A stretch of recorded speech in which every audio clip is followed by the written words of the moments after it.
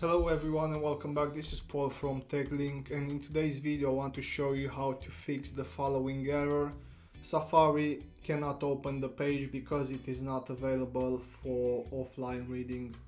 Now if you are an iPhone user you might be familiar with the Safari reading list which is a great option, very similar with the bookmarks that allows you to save web pages that you want to read at a later time but it also comes with a few different features with one of them being the offline reading that allows you to read pages even when you have no internet connection I personally use it whenever I'm traveling without a network or data connection I keep a stack of offline pages that I want to read on the road since the pages are downloaded and stored in the local storage with all the images and elements needed for offline access.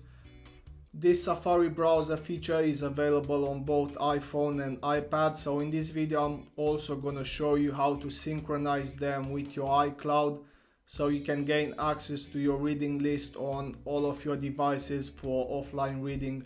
Now the first thing that you have to do is go to settings and tap your account name.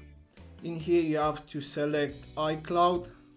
Scroll down to Safari and toggle this switch on. Press merge.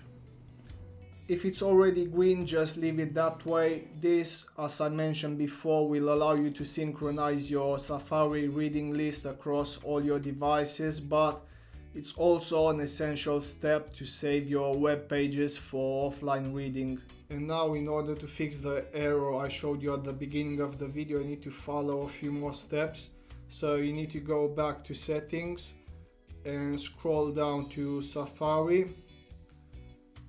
And in here you have to scroll down to the bottom. And under the reading list you have to toggle this switch on next to automatically save offline. And this will save all your reading list items from iCloud and should fix the not available for offline reading error that I showed you at the beginning of this video. So if I go back to Safari and let's say I want to save this web page on my reading list for offline reading, I'm gonna click on the share icon, add to reading list.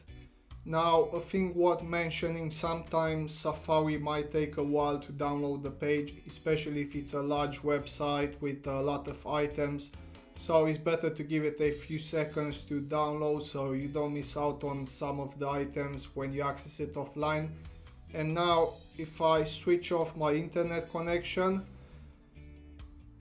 and go to my Safari reading list I can access offline the web page I previously saved.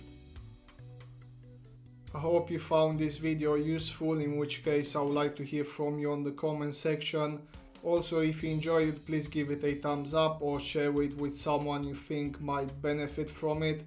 And if you would like to see some similar tutorials, please subscribe to the channel. And like always, thank you for watching and I'll see you next time.